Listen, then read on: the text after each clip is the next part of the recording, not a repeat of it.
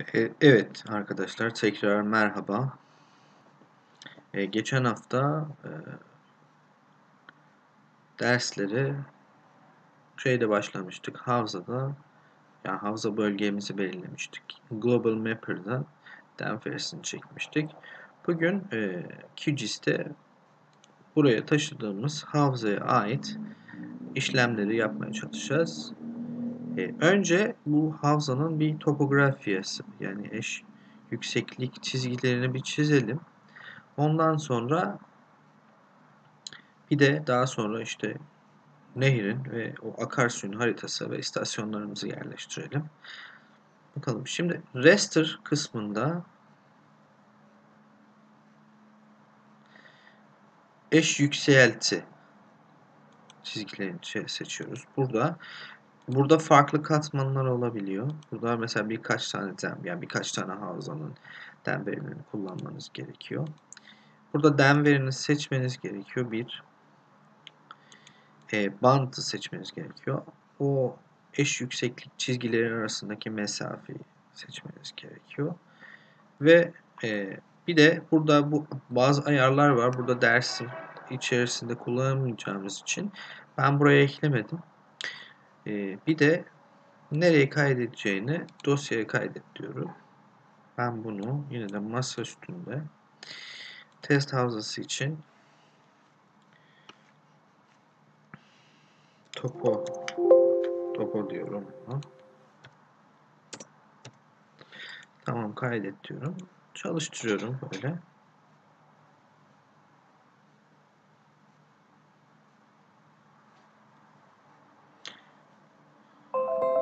Evet.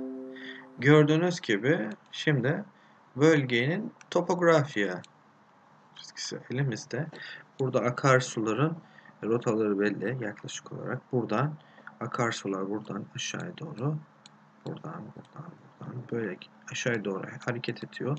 Burada tek kol var. Burada 2-3 tane kol iki kol birleşiyor. Geliyor burada havza çıkış noktamızın etrafında. Burada da iki kol birleşiyor. Şimdi burada aldığımız istasyonları da buraya taşımaya çalışacağım. E, şimdi bazıları eksik kaydetmişiz. Onları da burada tekrardan bir gözden geçirmek istiyorum. Şimdi tekrardan Google Earth Pro'muza geri dönüyorum.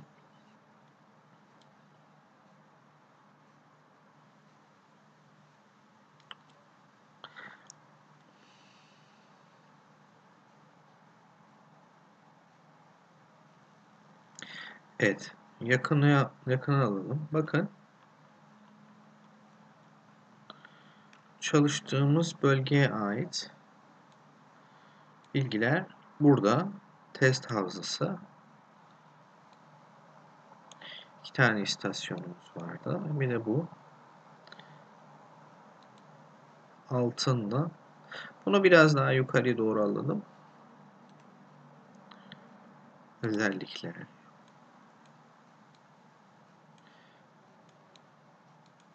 Şeklinde değiştiriyorum. Hepsinin bir şekilde olmak istiyorum. O hepsinin bir şekilde olmaklarını istiyorum. İşte enlem, boylamı falan her şeyi belli. Okey dedim. Bunları da bir yerlerini değiştirelim. Buna da bla bla stasyonu diyorum. Böylece iki tane şey var. İstasyonumuz var. Yukarıya doğru hareket ettirebiliriz. Mesela test havzası için.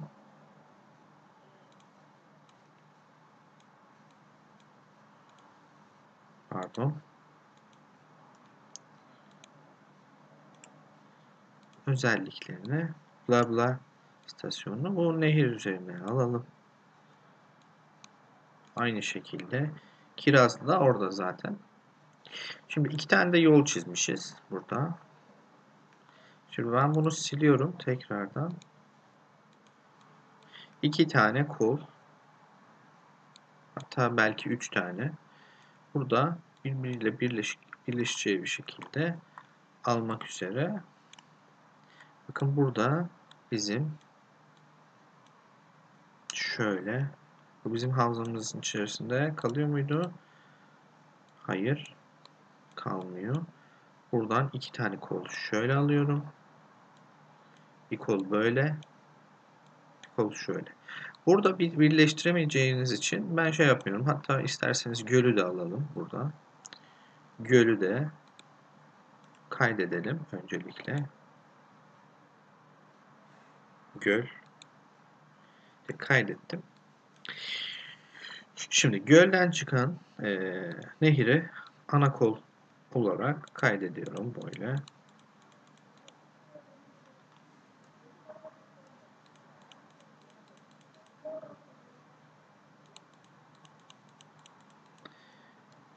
Bir önceki videolarda da dediğim gibi e, en iyisi bunları harita komutanlığından temin etmek. Dilekçeyle normalde başvuruyorsunuz ya da DSİ ya da işte Orman ve Tarım Bakanlığı'ndan temin edebiliyorsunuz böyle e, katmanları CBS katmanlarını mesela e, arazi kullanma katmanı olsun, topografya katmanı olsun, nehirler, istasyonlar. Bunları her zaman buradan temin etmeniz daha mantıklı. Ama olur da e, bulamazsanız bazı katmanları herhangi bir nedenden dolayı e, bu benim gösterdiğim teknikleri kullanarak e, işinize aksatmamakla birlikte devam edebilirsiniz. Şimdi bu bir tanesi. Ben buna sağ kol kol diyorum. Bu bizim akarsuyumuzun sağ kolu. Şimdi sol kolu da çizmek için yani bu ikisini ayrı ayrı da çiz, çizebilirsiniz. Ya yani burada iki tane ayrı ayrı oluşturmanız gerektiği için ben sadece bir tanesini çiziyorum. Böyle bu şekilde. Bu arada CB, QGIS'te, ArcGIS'te ve CBS uygulamalarında bunları kendisi de çıkartabiliyor akımın yönünü belirleyerek. Ve burada sadece kabaca e, işte poligon, nokta ve e, rota tarzındaki mesela nehir ya da akarsu nasıl belirlenir ve nasıl CBS ortamına taşınır göstermek adına yapmaya çalışıyorum ben size. Göstermeye çalışıyorum ben size. Bu işlemleri yapmak için bir sürü alternatif e, şeyiniz var. Her zaman aklınızda bulunsun. Yani ille de bu yöntemle yapmanız gerekmiyor. Yani çok detaylı bir şekilde yapmak istemiyorum. Biraz kabaca olsun.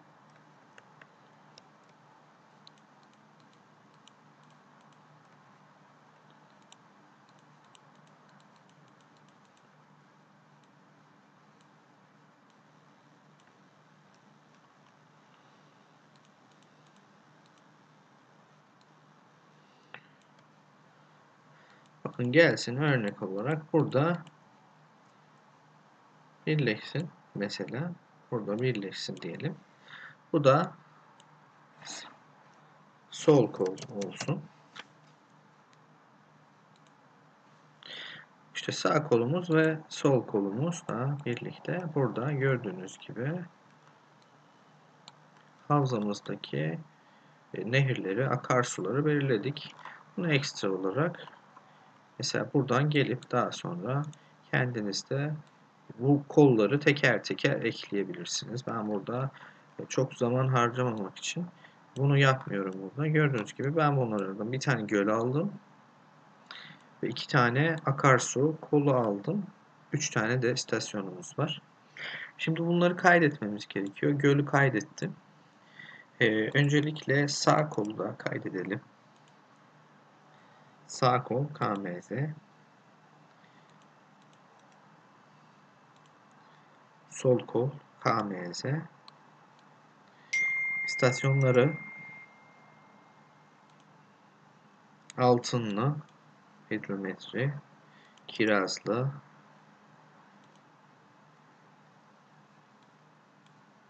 ve bla bla dediğimiz e, istasyonu da ekledik.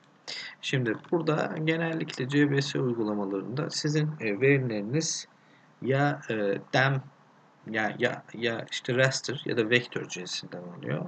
Bunlarla ilgili e, inşallah ileride konuşacağız. Ama aynı zamanda da çokgen rota ve noktasal veriye de sahip oluyoruz bazen. Onun için burada bir çokgen, bir rota, bir de noktasal veri taşıma işlemi yapıyoruz. Bu altınlığı ben bu ikisinin birleştiği noktaya almak istiyorum. E, tekrardan kaydedeceğiz dolayısıyla. Buraya aldım. Çünkü genellikle buradaki verileri kullanarak biz bir analizler yapıyoruz. Ve ikisinin birleştiği ya da biraz daha aşağıda olabilir belki. Gerçi bunu siz gerçekte nerede olduğunu göstermeniz gerekiyor. Ben altınlıyı bunların bitişiğinde olduğunu varsayarak e, kaydediyorum. Tekrardan aynı kaydettiğim yere alıyorum. Şimdi QGIS'e dönersek biz bunu oluşturduk. E, katmanları eklemek için buradaki tüm şeylerimiz, eklediğim şeyler hem çokgen hem rota hem e, istasyonlar e, vektör cinsinden olacaktır. Dolayısıyla yani noktasal değil de vektörel bir veri oldukları için ben bunları teker teker bakın altında hidrometri istasyonu diyorum. Ekle diyorum. Bakın burada hidrometri istasyonumu ekledi. E, aynı şekilde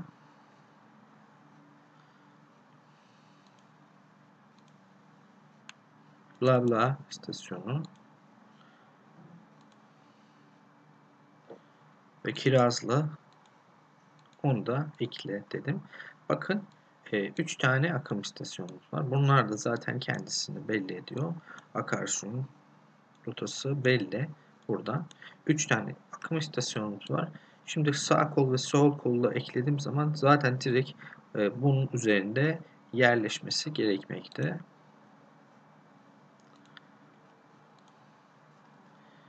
Bakın sağ kol ekliyorum. Bakın burada biraz daha kendini belli etmek için, için ben bunu biraz kalınlaştırıyorum. Ee, rengini mavi yapalım. Okey. Okey. Yanlış şey değiştirdim kusura bakmayın.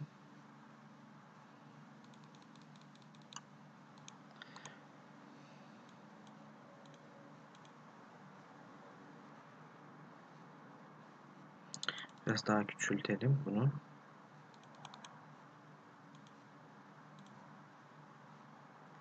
Evet. Buradaki sağ kolun kalınlığını değiştiriyorum. Mavi yapıyorum akarsuyunu. Gördüğünüz gibi burada e, burada sağ kolumuz kendini belli ediyor. Buraya alıyorum ki istasyon üstünde kalsın. Her katman en üst olan katman üze, üzerinde gözüküyor. Şimdi sol kolu da ekleyelim.